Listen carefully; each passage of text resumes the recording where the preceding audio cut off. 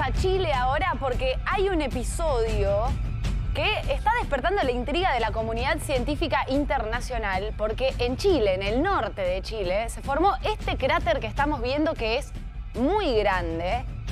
Hay posibles explicaciones, pero están todos tratando de dar una explicación a por qué se formó, porque encima se sigue agrandando. Y para entender todo esto de por qué está este misterioso cráter en Chile, está Cristóbal Muñoz de la red divulgativa geocientífica. Cristóbal, ¿cómo estás? Cata Delía y Facundo Pastor te saludan desde equipo de noticias.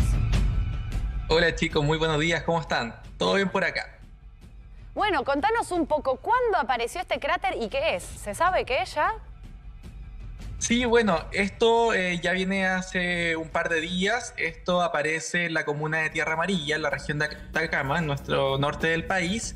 Esto básicamente tenemos la información preliminar de que comenzó eh, con un tamaño inicial en la parte del diámetro superior de 32 metros, en la parte basal eh, aproximadamente 48 metros y una altura, una profundidad de 64.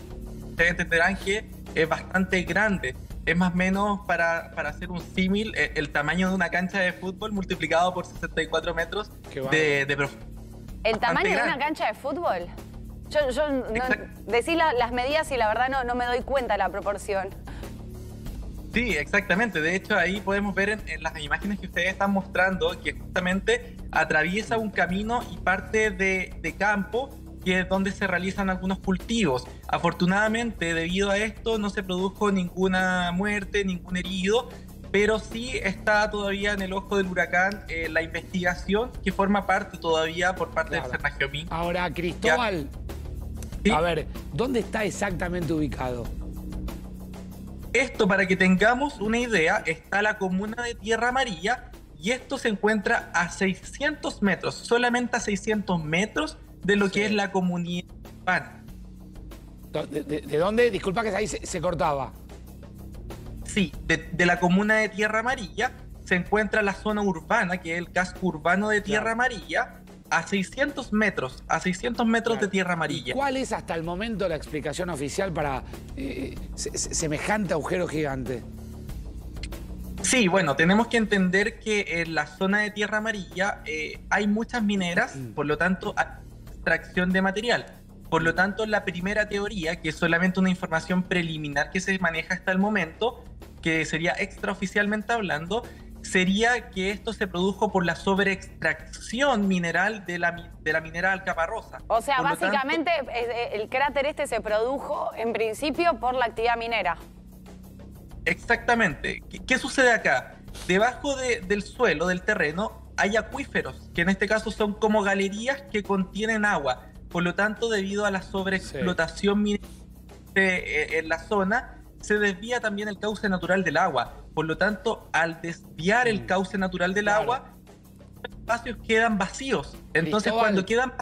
¿Y el hecho de que sea un, eh, digamos, redondo, cilíndrico, eh, tiene una explicación? Exactamente. Esto netamente se debe a la alta cohesión que presenta el suelo. La cohesión corresponde, para que podamos entender, a la, la, junta que existe entre las partículas o las moléculas del suelo. Por lo tanto, este suelo, debido a su composición física y mineralógica, en este caso, eh, se forma abajo, en la parte eh, basal de este cráter, eh, se forma una carga puntual y esto se empieza a expandir como una forma radial, de círculo. Entonces, al expandirse, llega arriba de, tal forma que esto después baja de una sola manera y de forma cilíndrica. Y ahora, a partir de esta aparición y de esta hipótesis oficial que manejan sobre la relación de la minería con este cráter, ¿hay algún tipo de discusión pública alrededor de la actividad? Exactamente. En primer lugar, eh, Cernagiobin, que es nuestro organismo gubernamental que, que regula y fiscaliza la minería acá en Chile, eh, claramente eh, admitió que fue una, mala fiscalización y además también una falta grave por parte de la minera. Pero por otra parte, la minera Alcaparrosa eh, distiende estos hechos y dice que el gobierno estaba informado de que se hizo una sobreexplotación minera y que ellos ya estaban sabidos en cuanto al tema. Pero en realidad ahí está la disputa, porque ahora actualmente se abrió una investigación por parte de la fiscalía y ahí ahora es tema de investigación para saber si realmente fue así o no fue así el tema de la extracción. Pero la la sobreexplotación eh, es confirmada. En este caso, para que tengamos una idea, la minera estaba autorizada mm. inicialmente para explotar 38 mil toneladas de material. Y ellos sobreexplotaron 128 mil toneladas, que fue más del triple. Bueno, Cristian, te agradecemos muchísimo toda la información. Gracias. Muchas gracias a ustedes, que tengan buen día.